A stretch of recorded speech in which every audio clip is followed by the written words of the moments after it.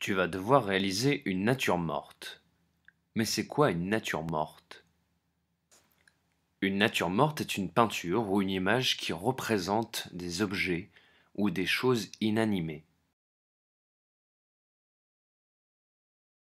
Par exemple des fleurs, de la vaisselle, de la nourriture, des instruments de musique, etc.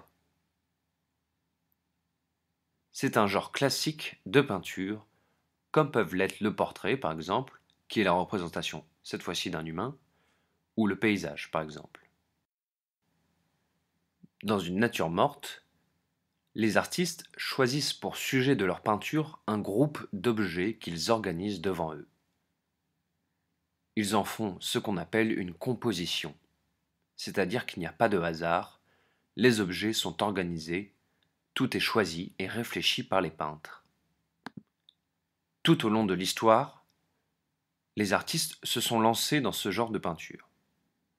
Des natures mortes, peintes de manière très réaliste, puis parfois en enlevant quelques couleurs, parfois en s'éloignant de la réalité, en modifiant les formes et la lumière, jusqu'à l'abstraction.